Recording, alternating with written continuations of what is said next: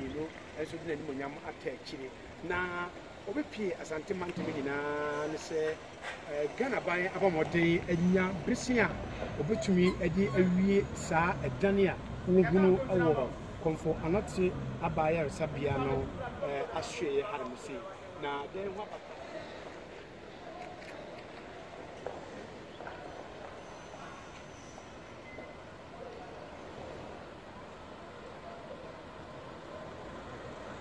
asɛm da asanteman ghana man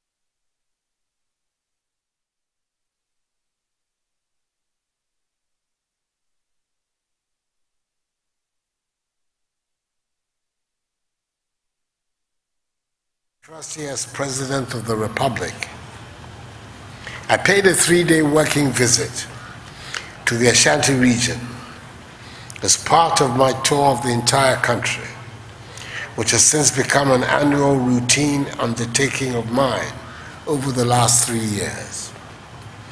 My itinerary in Ashanti that year brought me to the abandoned maternity and children's block of the Komfo Anokye Teaching Hospital, Kumasi.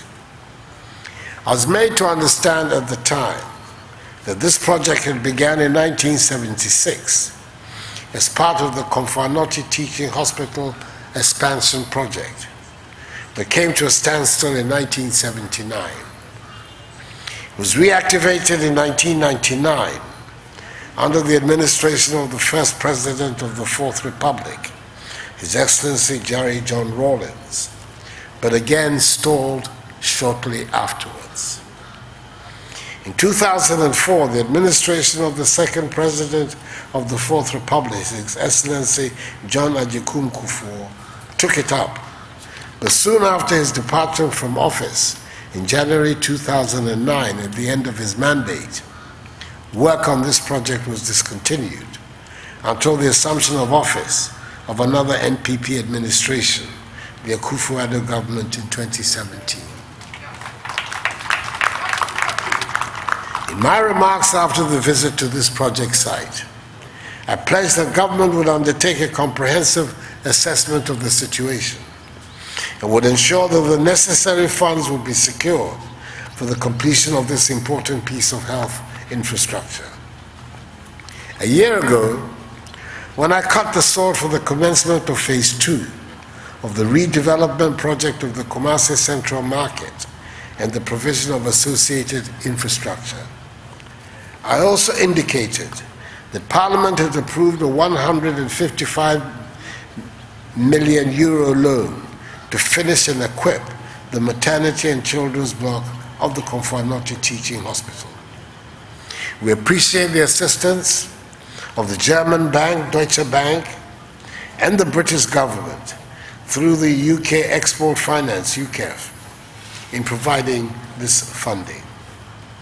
So, eminent clergy, Otumfuo, Ashanti Regional Minister, Minister for Health, Minister for Food and Agriculture, Minister for Sanitation and Water Resources, MP for Subin, KMA Chief Executive, Chair and Chief Executive of Komfo Anokye, Ladies and gentlemen.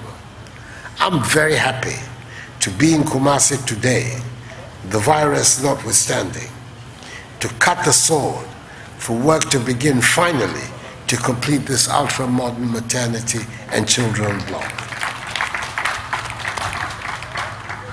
A project which is to be carried out within 36 months and whose funding has been fully secured. Once it is put up, the maternity and children's block will be a state of the art modern health edifice with pediatrics, gynecology, and obstetrics units. It will serve as a referral center for 12 of the 16 regions of our country. It will be a 750 bed building with outpatient areas for adults and children, and it will have 10 operating theaters and diagnostic rooms, fully equipped with x ray, ultrasound, and mammography facilities. It will house an intensive care unit, a high dependency unit, isolation rooms, and student lecture halls with the capacity to provide catering services for staff, patients, and students. As you all know, in addition to being President of the Republic, I'm also privileged to act as co chair of the group of eminent advocates for the 2030 United Nations Sustainable Development Goals. The finalization of this project is as very dear to my heart as it will have a positive impact on our country's drive towards achieving the SDG targets under maternal and child health. In my eighth address to the nation, in the wake of the COVID 19 pandemic, I indicated that the virus has exposed the deficiencies of our public health system and has revealed the unequal distribution of healthcare structures around our country. Government is committed to providing access to healthcare to every Ghanaian, no matter where they are, for every Ghanaian is entitled to good health and good health care.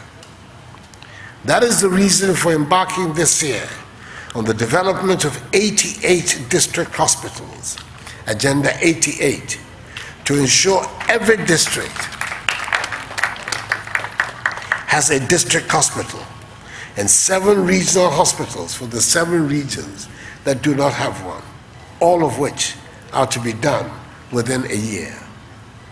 We're making these investments in our healthcare system because it is self evidently necessary to serve the needs of 21st century Ghana.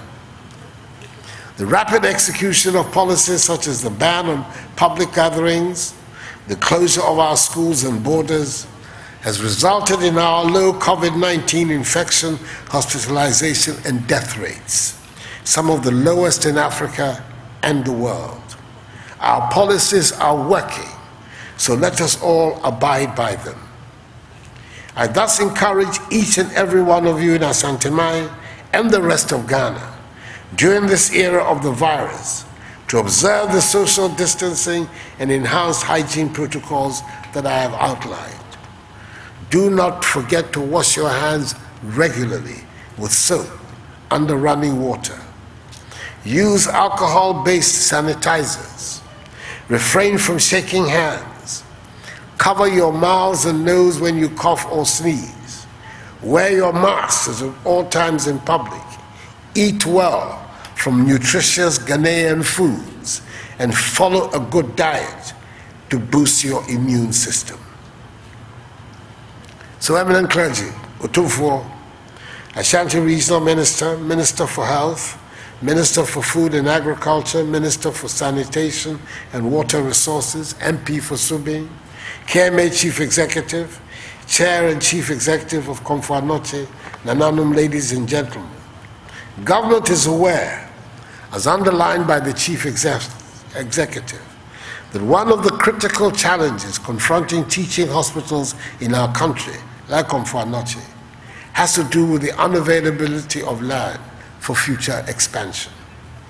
I'm privy to the discussions that are taking place between Manhyia and the board of this hospital for the possible release of additional lands for other projects, such as the Centers of Excellence for Cardiothoracic, Renal, Organ Transplant, Infectious Disease, and Diagnostic Services, among others.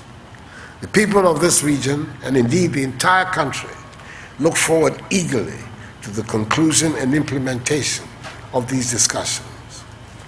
In a related matter, I take this opportunity to commend respectfully Otumfuo for his support in helping to relocate the military barracks adjacent to this hospital. I'm urging the Ministries of Defense and Health to hasten the dialogue and finalize all outstanding issues with Manhyia in this regard. Let me conclude by wishing the great king, Otumfuo Osei II, the redoubtable Asantehene, once again, many congratulations on his 70th birthday.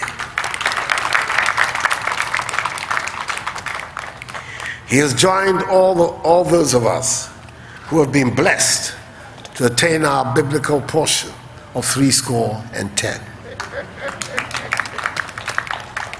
I wish him a long, healthy life and many more years of his illustrious reign as the 16th occupant of the golden stool of the renowned Osei-Poku royal Oyoko dynasty of Asanteman.